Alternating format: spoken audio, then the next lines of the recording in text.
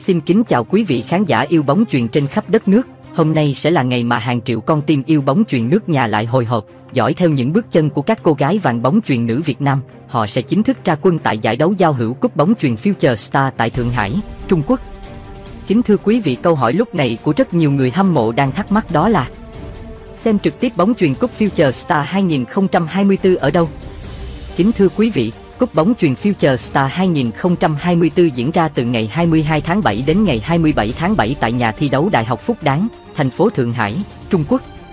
Đây là giải đấu có sự tham dự của đội tuyển bóng chuyền nữ Việt Nam, quy tụ những đội bóng trẻ đến từ các nền bóng chuyền hàng đầu ở châu Á cũng như thế giới, là sân chơi để các cầu thủ trẻ tỏa sáng, tích lũy kinh nghiệm trước những đối thủ hàng đầu.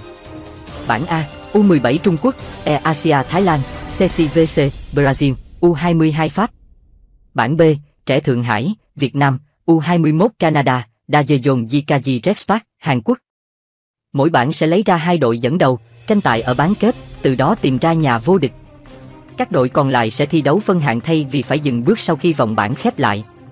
Kính thưa quý vị, theo cập nhật mới nhất từ phía chúng tôi, hiện vẫn chưa có bất kỳ đài truyền hình nào của Việt Nam có được bản quyền phát sóng trực tiếp các trận đấu thuộc cúp bóng truyền Future Star 2024 nơi mà đội tuyển nữ Việt Nam sẽ tham gia tranh tài.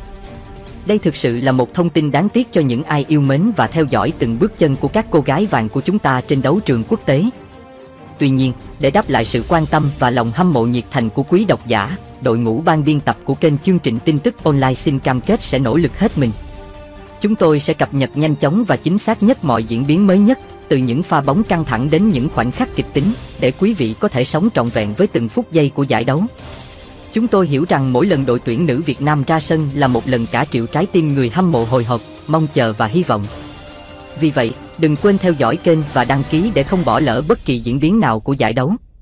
Chúng tôi sẽ mang đến cho quý vị những bản tin chi tiết nhất, những phân tích chuyên sâu nhất và trên hết là tình yêu và sự tôn trọng dành cho đội tuyển nữ Việt Nam. Hãy cùng chúng tôi cổ vũ và đồng hành với các cô gái của chúng ta để mỗi trận đấu trở thành một ký ức đáng nhớ và mỗi khoảnh khắc trên sân cỏ là một lời khẳng định cho niềm tự hào Việt Nam. Thông tin tiếp theo ngôi sao bóng chuyền nữ 10X cao gần 1m90 bất ngờ thông báo giải nghệ, cuộc sống sang trang mới ở tuổi 23. Sinh ngày 10 tháng 1 năm 2001, Phạm Thị Lệ Thảo, phụ công người Phú Thọ đã thổi nến mừng sinh nhật tuổi 23 vào đầu năm nay, đánh dấu một cột mốc quan trọng trong cuộc đời cô. Với chiều cao 1m85, Lệ Thảo là phụ công cao nhất thuộc biên chế của Bộ Tư lệnh Thông tin và cũng nằm trong danh sách những phụ công cao nhất Việt Nam hiện tại. Cùng với chủ công trẻ Đỗ Quỳnh Hương, cũng cao 1m85, cô là một trong hai vận động viên cao nhất của Bộ Tư lệnh Thông tin, tạo nên một cặp đôi mạnh mẽ trên sân bóng. Suốt 8 năm gắn bó với trái bóng chuyền và Bộ Tư lệnh Thông tin, Lệ Thảo đã không ngừng nỗ lực, cống hiến và tạo dựng tên tuổi trong làng bóng chuyền Việt Nam. Tuy nhiên, mới đây, trên trang cá nhân của mình, cô đã khiến người hâm mộ bất ngờ khi thông báo quyết định từ giả sự nghiệp bóng chuyền và chia tay câu lạc bộ bóng chuyền nữ quân đội để bắt đầu một trang mới trong cuộc sống. Một hành trình dài 8 năm với trái bóng khép lại, tạm biệt ngôi nhà thứ hai của tôi. Mãi yêu, Lệ Thảo viết trên trang cá nhân, gây xúc động và tiếc nuối cho những ai từng dõi theo từng bước chân cô.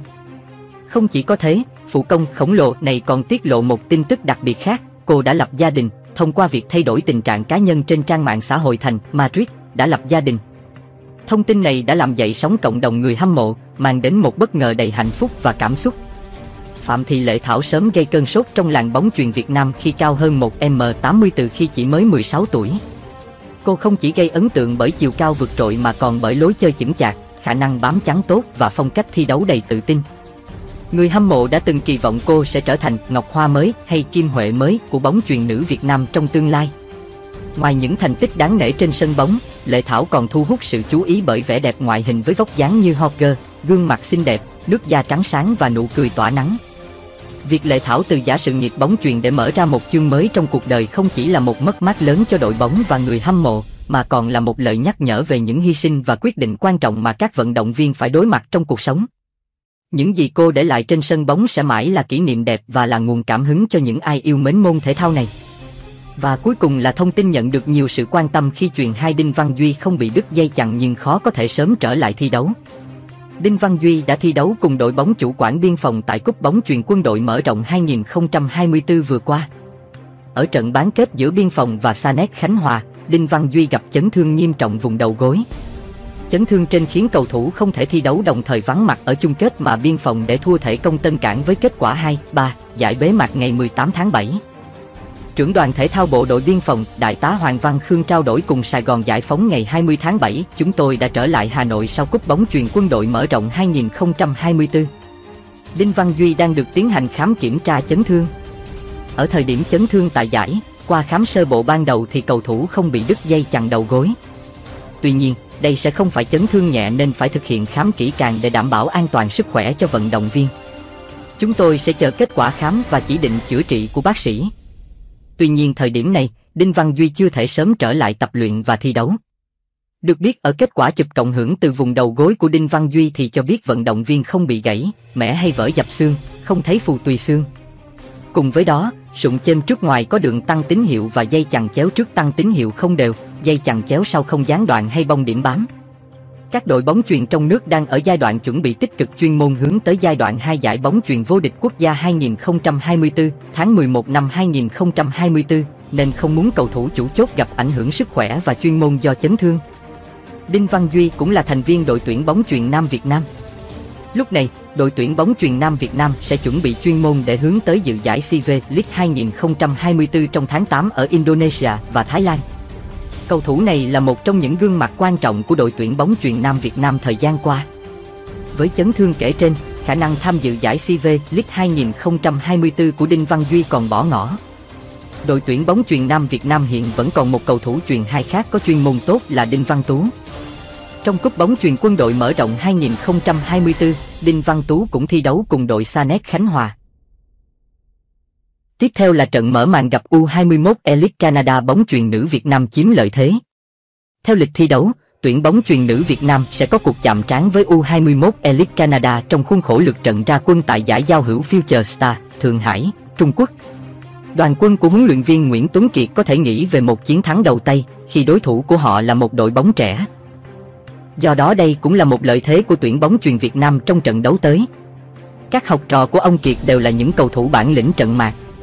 Họ đã đồng hành cùng nhau qua nhiều giải đấu khu vực và châu lục như SEA Games, CV League, AVC Challenge Cup, FIVB Challenger, AVC Club Volleyball Championship, ASEAN.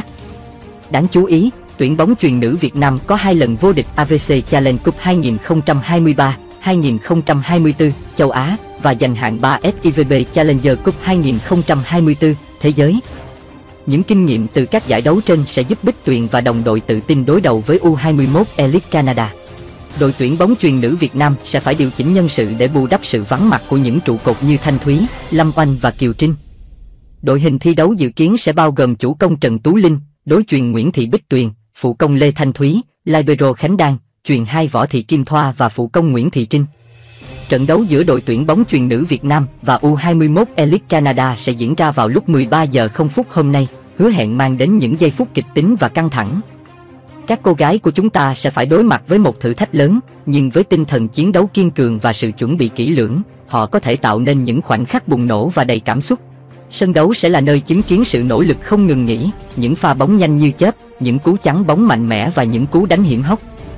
Tất cả sẽ tạo nên một bức tranh sống động và đầy kịch tính. Khán giả hãy chuẩn bị tinh thần để cổ vũ cho đội tuyển bóng chuyền nữ Việt Nam, nơi những ngôi sao trẻ sẽ tỏa sáng và mang về niềm tự hào cho đất nước.